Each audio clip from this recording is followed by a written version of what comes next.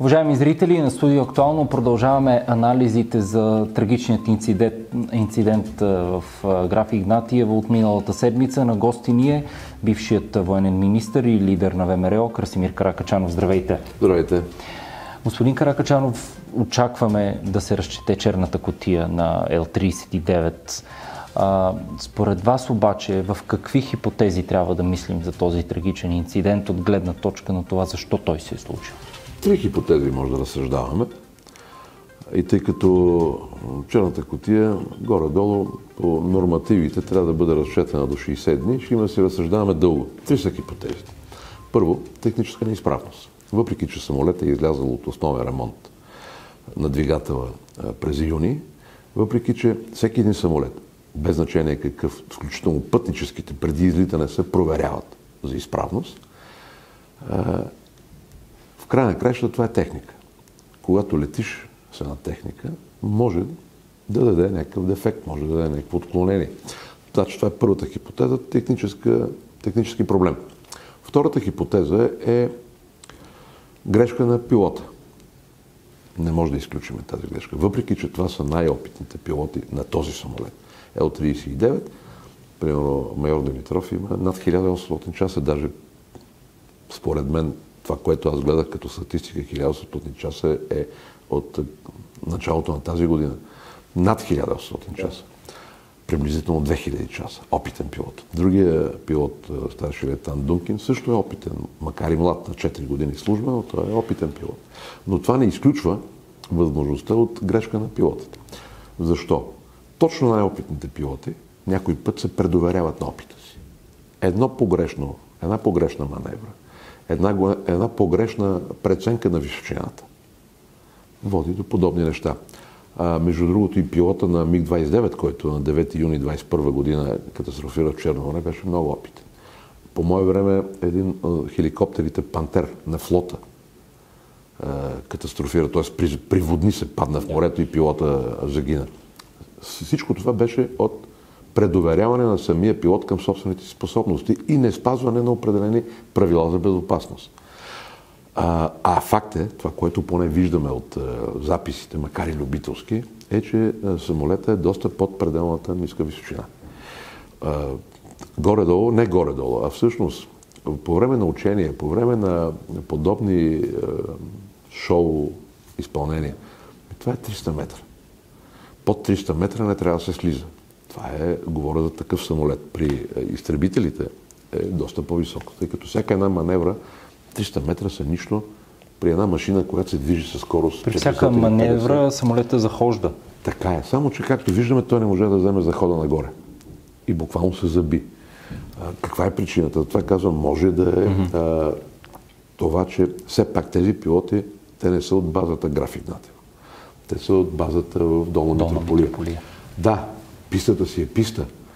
Нали, много хора казват, ама нали, писта навсякъде е равна. Да, равна е, само че той, той самолет, пак казвам, с 500 км в час, а, той буквално за секунди излиза от а, пистата. И когато в релефа е леко различен на другата авиобаза, е възможно заради релефа те да са подценили височината. Възможно е, казвам. Това са теории. Никой не може да ви каже със сигурност какво се е случило. Третия вариант е а, неправилна команда от ръководителя на полета. Това са трите възможности. И ако се окаже, че ръководителя на полета е дал погрешна команда, или някой им е дал погрешна команда, само при тази хипотеза можем да говорим за някаква отговорност на командирите им. Българските политици по стар навик бързо, давай сега. Те смятат, това е една практика, която Бойко Борисов въведе. Нещо, ако почне да се говори срещу някой негов министр или депутат, дай веднага го уволняваме, махаме го и проблема е решен. Няма човек, няма проблем. Да, тук бяха поискани Стали вече оставки веднага след така, да, това е по тази практика, която Бойко Борисов наложи. Нали? Помните, за всеки един от неговите министри в тези 12 години, които управляваше, или за някой от депутатите, ако нещо се чуе, ако той нещо се издъне, каже нещо погрешно, в случая Вежди Рашидов, нали? веднага махай се, напускай и така решаваме проблема. Няма човек, няма проблем. Сталинския подход. Ние не можем да жертваме, да жертваме кадрите на българската авиация по начина по който Сталин си жертваше офицерите. Разстрелваше ги, избиваше ги, затваряше ги. Извинете ме.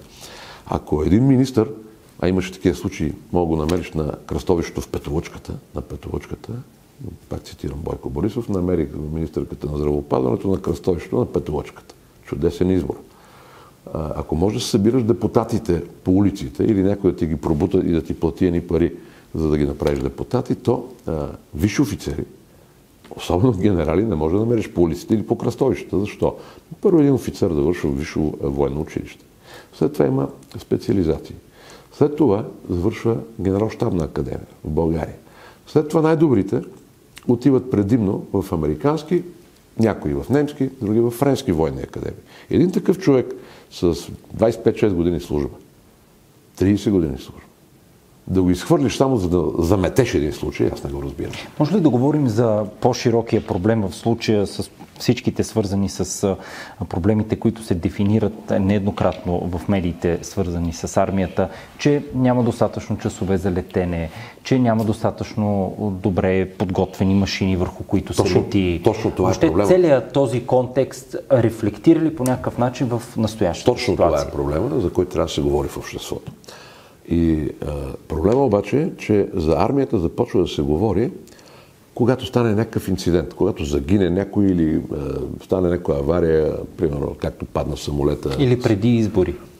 Е, преди избори даже това не има тема, защото те бегат от темата отбрана, да не би някой да си помисли, че ще има задължителна военна служба и да оплаши майките. А, въобще не, въобще, въобще не говоря. Или ако стане някой далавера в армията. Тогава се говори. За сега ще видите, буквално ще видите стена. Седмица ще спрат да говорят за този проблем. Така че затова съм, аз затова казвам, не съм съгласен да се режат глави в армията, без да е ясно има ли някой отговорност за това и кой е той. А, а проблемите в армията са точно това, което вие го казахте. В авиацията конкретно. Липсата на достатъчно налет на пилотите, часове във въздуха, а това се дължи на липсата на достатъчно отпускани средства. Аз като станах министър ми 2017 година, пилотите имаха не повече от, и то тези, които минават за добри, 30-32-3 часа на година, което е нищо. А, младите колко пил... се пада? Да ами, речем ами, аз, говоря, аз говоря за добрите пилоти. Да, на седмица тези, имам които наричаме, на месец. Тези, как се... Еми, изчислете ги 52 седмици, са, да. разделете ги 30, 32-3 часа. Да, да, ама това е само за най-добрите. А, а, тези, които младите, а младите пилоти имаше хора с по 5, 6, 7 часа, което е абсолютно недостатъчно. Това е, даже любителите имат повече часове във въздух. На какво се дължи това? Има достатъчно самолети. Смисъл такъв, за да могат пилотите да летят. Не казвам, че са най-модерните, не казвам, че са най-добрите, макар че и МиГ-29 и Су-25 са много добри самолети. Всички тези, които 20 години ни обясняваха как трябва да ги махнем, защото са стари, съветски и така нататък, ми вижте в войната в Украина и двете страни, и Русия и Украина, основните им бойни самолети са МиГ-29 и Су-25. Да, руснаците имат и други модификации от 10-15 години насам. Но това са основните бойни самолети. Ел-39 продължава да е основният учебно боен самолет. Той е реактивен, всичкото отгоре. Тоест, ние техника имаме почти цяла ескадрила МиГ-29 и почти цяла ескадрила, нали, няма да тъм по точните бройки, да, на нарочно възраст. не искам да ги... Да. Не, не, не, не са на пределна възраст. Не е проблема на каква възраст е самолета, а дали го поддържаш. Защото когато... Нието, нали, голяма част самолетите бяха в капиталовъзстановителен ремонт. Не, една част, за съжаление. Една част. И то нередовно капиталовъзстановителен ремонт. Ето тук е проблем. Л-39, вече го написаха, мога да кажа цифрата. 12 самолета имахме. Да. От тези 12 самолета са летяли 4, разпределени в две бази. Две в Граф Игнатиев за обучение на младите пилоти, които са дошли в базата, и а, две в а, базата в Долна Митрополия, където се обучават курсантите и а, е, самите пилоти uh-huh. в базата. Четири самолета. Имаме 12. По мое време заварих нещо подобно. Три. С а, смешни пари. 14 милиона лева в Украина ги е, ремонтирах, възстанових ги тези 8 и те летяха. Само, че един самолет той не получава, не го възстановяваше така още 20 години да си кара. Той е като автомобила. На определени километри трябва да сменяш маслото, трябва да преглеждаш двигател. Има консумативи, е много, така да се каже. Точно, но много по-сложно и много по-скъпо. В Украина възстановихме завода, който ги е произвеждал на времето в Съветския съюз, е в Украина. Затова сключихме договор за една сума по-малко от 14 милиона лева летяха 8 самолета. Тогава имаше достатъчно самолети да се натрупва на лед. Тоест, когато в една авиобаза, примерно имаш 30 летци и 3 самолета, по 10 души на самолет. Е, да, но този самолет има определен ресурс. След възстановителен ремонт, един самолет получава 300 часа ресурс. И ако на този самолет лети един човек, той може да лети, да кажем, 5 години на него. Ама ако летат 10, да. ми приключва за 2 години. За 2 години, да. А същото и с миговете, там имаме почти цяла ескадрила. А, когато аз отидох, летяха три, ама един е кацна, защото му свърши ресурса. Като си тръгвах, оставих 8. И то за смешни пари се ремонтираха. А, штурмовата авиация, най-добрия, всъщност, не, не, ще го кажем, може да се възмутат някакви псевдонатовци, които нищо не разбират, но ще го кажа. В рамките на НАТО в Европа най-добрият штурмови самолет, да го кажа грубо, бомбандировач в НАТО е Су-25. Го има само България. Поляците имат Су-22. Малко по-различна модификация, малко по-стара. Но си ги ползват и ги поддържат. Даже имат собствен завод, с който си ги поддържат. Тоест, ние техника имаме, само трябва да отделяме средства. И ще дам един пример за безотговорността на политиците. Без и да, да минем към другите теми. Без да влизам, без да влизам в а, темата с войната. Преди две седмици министър-председател Главчев се похвали как а, сме подарили на Украина 80 милиона лева.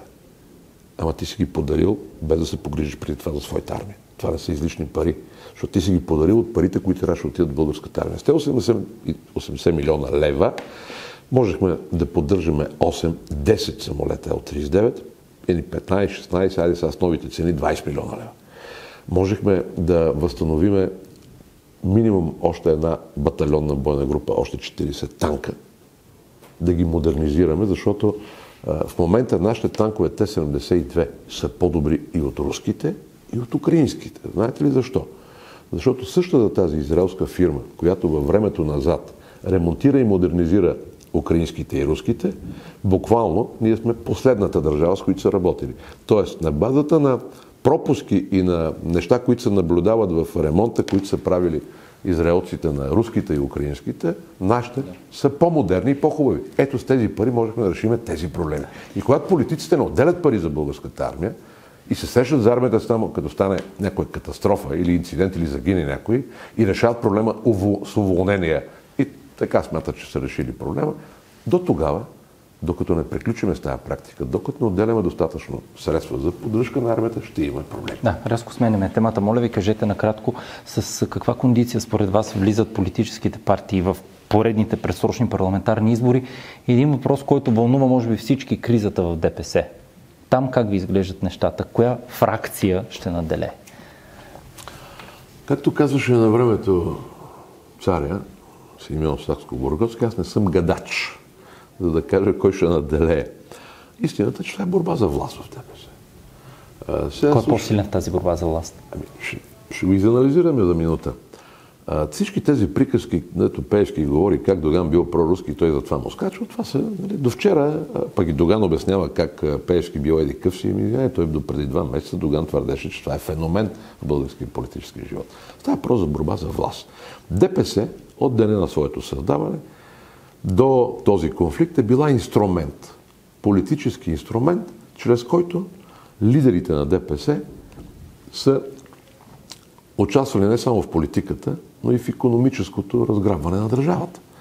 Тук е битката, кой ще държи инструмента ДПС и ще ни плаши с етническата карта и ще ни говори за етническия мир. Кой ще наделе? Аз мисля, че във времето ще наделе Певски. По ред причини. Доган отдавна е известно, че физически не е в добра кондиция. Първо. Второ, около него са наистина част от Старата гвардия, тя Старата гвардия, която от 30 години самия електорат на ДПС наблюдава, че се ояжда и забогатява.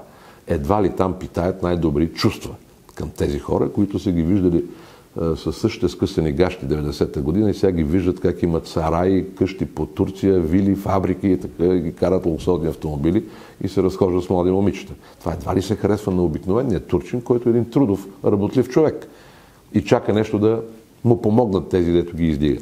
В перспектива това, на тези избори обаче смятам, че по-големия процент не мога да се ангажирам дали ще бъде 50 на 50. Аз лично смятам, че малко по-голям процент гласове ще вземе Доган чисто по инерцията на етническия вод.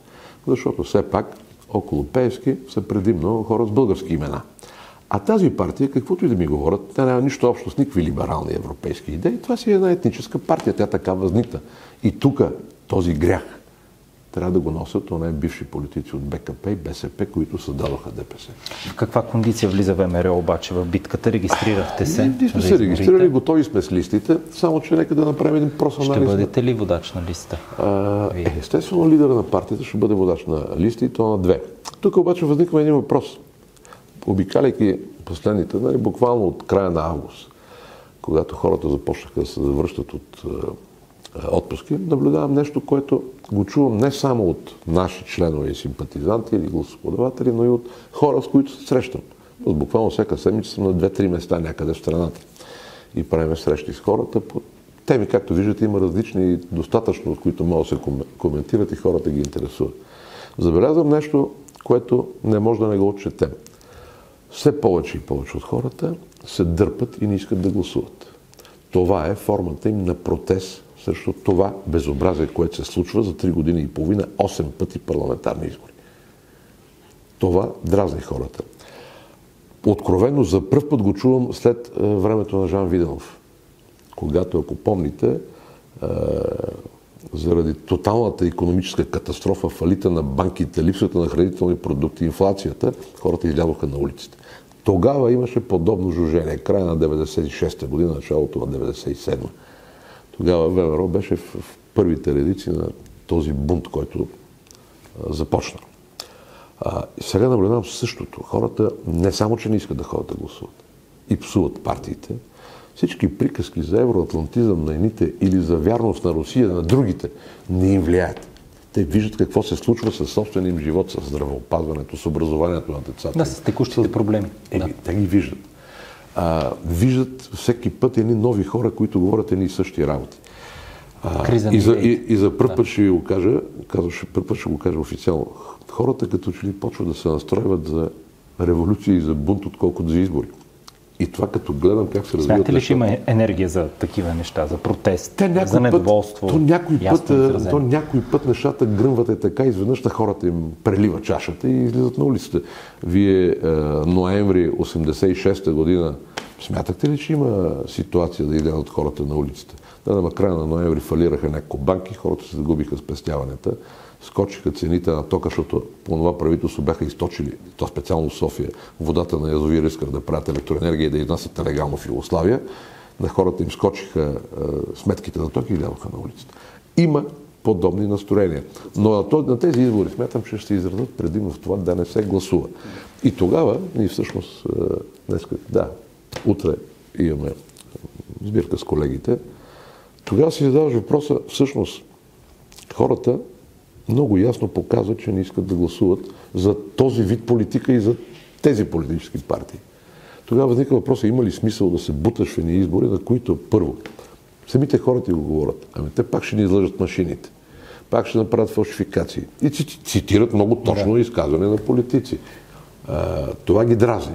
Те отиват, гласуват за някой, много хора. Между другото, някои, които са гласували за различни партии, не само за ВРК, аз ти гласувам, после проверявам а, на на машината, ни моя вод, ни на жена ми утре в тази секция няма гласове. Аз сме трима души в семейството. Това недоверие, че чрез избори може да се реши нещо, все повече завладява хората. Аз прогнозирам, че тези избори ще имат по-малко. По-ниска избирателна Много по-ниска избирателна да. активност и някакви форми на протест. Така че си задам един прост въпрос. Има ли... И още един анализ. Като гледаме разстановката на сили, разцеплението в БСП и в ДПС, как ще направи правителство? Все повече хора прозряват, че след тези избори най-вероятно ще се ходи на, ще ходи на девети избори да. подред. Е тогава възниква въпроса, има ли смисъл да участваш в една такава битка, която е или предварително договорена, купена, или от нея няма да проистече нищо, след като след 4-5 месеца отново ще не бутнат на избори. Добре, много ви благодаря за този анализ по актуалните теми. Уважаеми зрители, Красимир Каракачанов, гост в студио Актуално. Благодаря и на вас, че избрахте предаването.